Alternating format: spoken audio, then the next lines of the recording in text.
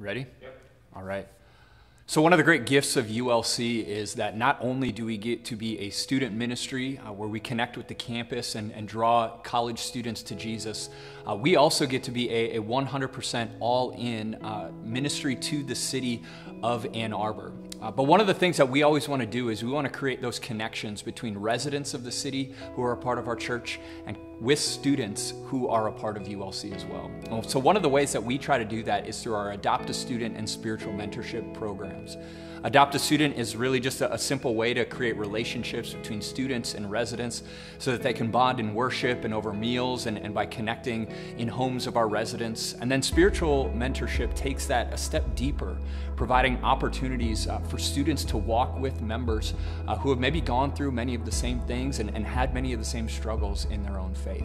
God brought Trisha into my life when He knew I needed it most, and He's used this relationship to transform my faith from something that I just grew up with to developing a personal relationship with Jesus. It helped helped me see how I could grow in my faith as an engineer. Um, it's not a career or discipline where it necessarily seems very spiritual uh, or very religious, and so having older people in my life who um, are on that career path and getting to see how they follow God uh, has really helped me uh, see and kind of learn about how I might uh, bring my faith into uh, my career. I think the most important thing is, is that we both gathered inspiration, really, from working with a new friend and student. This is a student that we met and had adopted through the church um, that really provides some energy, uh, a new beginning. It was an opportunity uh, to show God's love to someone else.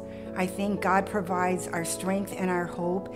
And one of the ways, best ways I know to grow your faith and someone else's is to share your love with them. Mentoring students has strengthened my faith by getting to see answers to prayer. I love getting to hear what is on their heart, what they like to see God doing, and then as we pray together and share our lives together, we get to see answers to prayer.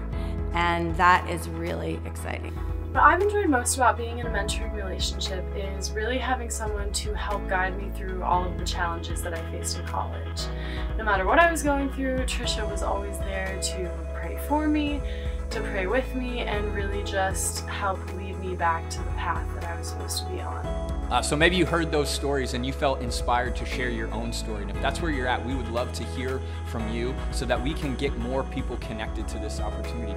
Or, or maybe you heard those stories and you're like, wow, that sounds awesome. I'd love to get plugged in. And so if that's where you're at, best way that you can get connected is by just shooting me an email, marcus at ulcannarbor.org, and we would love to get you connected to our Adopt a Student and spiritual mentorship opportunities. Do you guys have anything else that we didn't ask that you want to add to? No, I, I think we. No, can we keep her forever? Yeah, I think we. I actually. I think that's up to Lindsay. I, Yeah, I yeah. think we do have her forever. She's now a part of our family. You know.